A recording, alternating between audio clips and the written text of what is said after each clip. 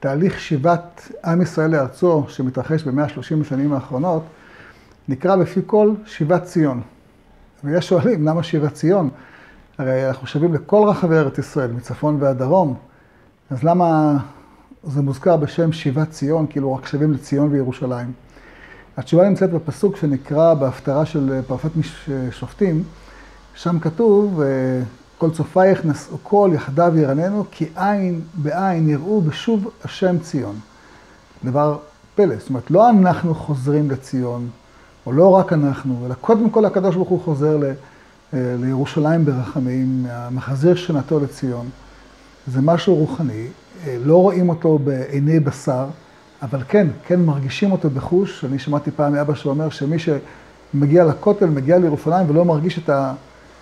את, ה, את התחושה הרוחנית של שבתי לירושלים ברחמים, הוא צריך רופא. ועם ישראל מרגיש אותו. עם ישראל מרגיש אותו, ועם ישראל עולה לארץ ישראל. אגב, זה גם כן מה שעתיד להיות בהמשך, שנוהרים כל הגויים לירושלים. ממה הם נוהרים? הם נוהרים כי הם מרגישים את, ה, את, ה, את הקדושה, את, ה, את הנוכחות של הקדוש ברוך הוא.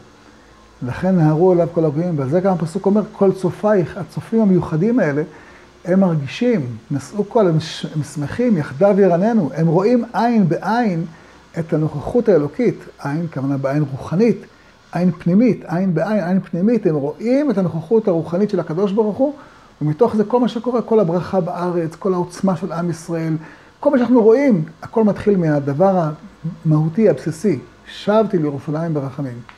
יהי רצון להתקיים גם ההמשך, ביתי ייבנה בה, אמן ואמן.